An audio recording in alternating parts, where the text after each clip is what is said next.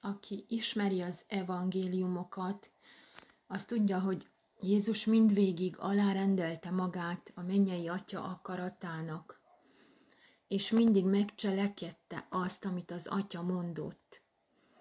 És mégis Jézus, mint gyermek, mint Isten gyermeke, mert ő mindvégig gyermek, fiú maradt, kért egyetlen dolgot az atyától, és nem azt, hogy vegye el tőle a keserű poharat, mert végül azt is kérte, de azt úgy kérte, hogy ha lehetséges, múljon el tőlem ez a pohár. De végül a te akaratod legyen meg, atyám. De igen, Jézus az ő atyához való imádságában a halála előtt úgy kérte az atyát, mint egy gyermek, mint olyan engedelmes és szerető gyermek, aki tudja, hogy bármit kérhet az atyától, mert az megadja neki, és úgy kért valamit az atyától, hogy kimondta, akarom. És igen, értünk, mondta ki azt az atyának, hogy akarom. Értünk, hogy mi biztosak legyünk benne, hogy mivel ez Jézus akarata, ez egy elvégzett dolog. A János evangéliumának 17. részében Jézus imádkozik az atyához, és a 24. versben így kéri az ő atyát. Atyám, akiket nékem adtál, akarom, hogy ahol én vagyok, azok is én velem legyenek, hogy megláthassák az én dicsőségemet, amelyet nékem adtál, mert szerettél engem e világ alapjának felvettetése előtt.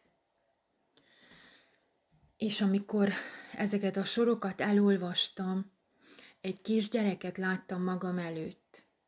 Jézust, mint gyermeket, és láttam a pajtásaival a patak partján játszani. Játszani Jézust örömmel, szaladgálni.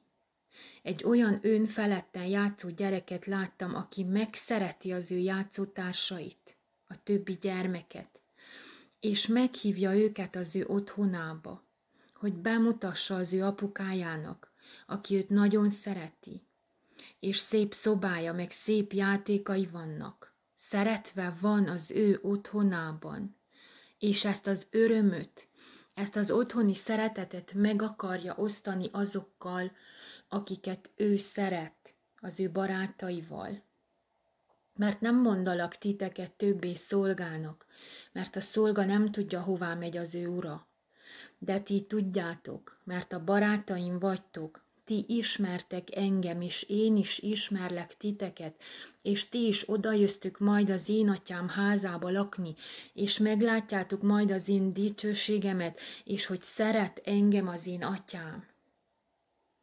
Hát kell ennél nagyszerűbb ígéret, ennél fenségesebb meghívó, mint egy boldog, tiszta, bizalommal teli gyermek szava, aki bármit kér az ő atyától, megadja neki.